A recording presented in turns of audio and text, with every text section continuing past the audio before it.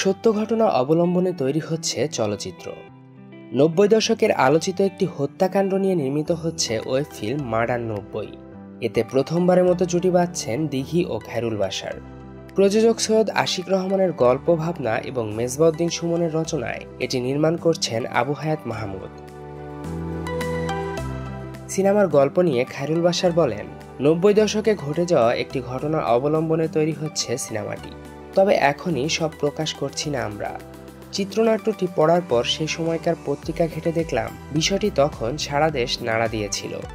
আমাদের চিত্রনাট্যটিও দারুণ হয়েছে। ঠিকঠাক মতো করতে পারলে এটিও আলোচিত হবে। একসঙ্গে কাজ না করলেও দিঘির কাজ দেখেছেন খায়রুল বাসার। তাই তো সহশিল্পী হিসেবে দিঘিকে পেয়ে তার মূল্যায়ন। আগে একসঙ্গে কাজের সুযোগ না হলেও চরকিতে দিঘির শেষ চিঠি দেখেছি। বেশ ভালো কাজ করেন চিত্রনাট্য পড়ে মনে হয়েছে চরিত্রটিতে দিঘিকে মানাবে। অন্যদিকে দিঘিরও পছন্দের অভিনেতার তালিকায় রয়েছেন খায়রুল বাসার তার কথায়, খায়রুল বাসার ভালো কাজ করেন। আগে পরিচয় ছিল, কিন্তু তার সঙ্গে কাজ করা হয়নি।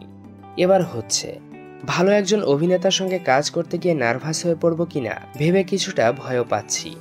তবে প্রত্যাশা থাকবে কাজের সময় তিনি আমাকে সহযোগিতা করবেন। সিনেমাটি নিয়ে নির্মাতা আবু হায়াত মাহমুদ বলেন, এটি একটি পিরিয়ডিক্যাল ক্রাইম ওয়েব ফিল্ম।